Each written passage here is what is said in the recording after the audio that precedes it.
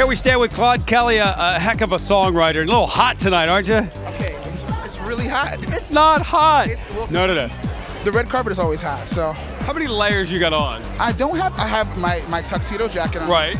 And I, I'm, I, there's a secret under my tuxedo jacket. Okay. a shirt, and that's it. But I mean, maybe it's a dedication to Whitney. That's this burning. Is that what that is? Look at that. Whitney right there. Oh, how about that? That's nice. I'm not, I'm not. I'm not that. I don't have any thermals on. I don't know what's going on. See, this is to me, and this is the perfect red carpet weather because it's it's not too hot, and it's not quite cold where you're shivering, and it's not raining. This is the perfect day. That- that- well, the, the, the rain would be the worst. So a little, a, few beats of sweat I can deal with. You can handle it.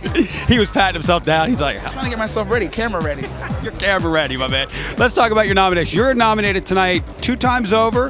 One for you just tell me it's Uh, one for R&B song, Right. for "Beautiful Surprise" by Tamia, and one for R&B album for the, the same album, "Beautiful Surprise" for Tamia. What what means more to you when you is it when you write a song or when you're more hands-on? Does do they even does one mean more than the other to you? Does one feel like more work, more closer to you? Well, you know, they all have a different kind of life of their own. This one means a lot because Tamia has been gone for six or seven years and been battling um, some health issues, multiple sclerosis, and it's an independent album. So anytime um, the Grammy Awards and, and my friends kind of award you for something that's kind of grassroots, it means a little bit more because obviously the bigger labels, you know, have much more money behind them. So this one is almost like a labor of love. So, so for them to say, we like what you did and we're nominating you, definitely means something. But they all have a special place in my heart. Let's talk about that just for a little bit because I think it's important for people that are watching that do not have a deal per se. Is it necessary in 2013 anymore? I mean, you look at the number one song in the country is Macklemore, Right, yeah. which is a pop song, didn't have a label when he started. What does that mean for an up and coming artist? I think now is the best time for the new artists, um, with with or without a deal, because um, the fans are really determining what they love.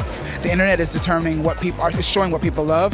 So you don't have to go the traditional route of getting a label, waiting for them to put your single out and the video. If you have something great and you get it out there with your own creativity and, and maybe a little bit of money, maybe no money, you can be heard and you can be number one. So it wasn't always that way. I think everyone knows that, but now is the best time for new artists like that.